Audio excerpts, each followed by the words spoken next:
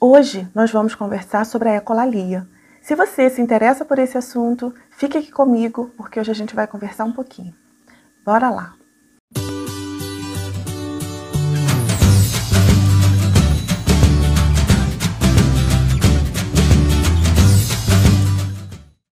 Olá, eu sou Suzete Fortunato, sou fonoaudióloga, idealizadora do programa Fono Sem Fronteiras.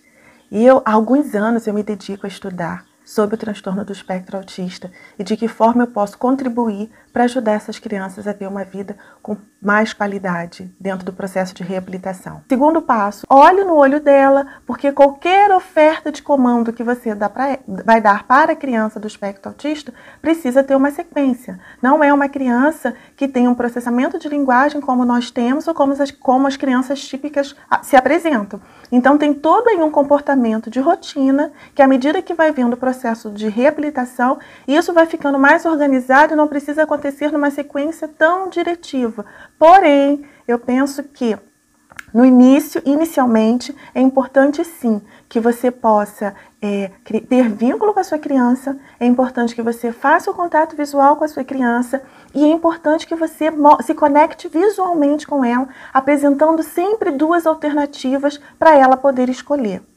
Por exemplo, é, você quer beber água ou suco? Você vai apresentar para ela um copo com água e um copo com suco. E aí você vai aguardar a resposta. Se ela não te responder de imediato, você vai aguardar um pouquinho, vai esperar ali uns 5 segundos aproximadamente. Se essa criança não responder, você fala: Ah, você vai querer água ou suco? E ela provavelmente ou vai olhar para o que ela está desejando, ou vai tentar repetir, ou vai simplesmente falar suco.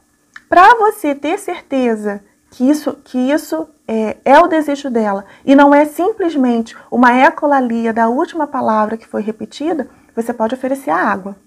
E quando você oferecer a água, a criança traz um comportamento de rejeição, ela balança a cabeça, ela manifesta que ela não está querendo aquilo, e aí você fala, ah, então você quer o suco, muito bem, você quer o suco, que legal. Então o que, o que, que você quer? Repete comigo?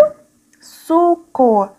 Legal. E aí a gente vai sempre dando a oportunidade da criança fazer a escolha, se conectando visualmente com ela, para que efetivamente ela possa escolher entre uma coisa e outra e não simplesmente isso está meio que num simbolismo e, e a gente já sabe que existe essa dificuldade de simbolizar, por exemplo, você quer água ou suco, mas ela não está vendo nem o copo d'água nem o suco.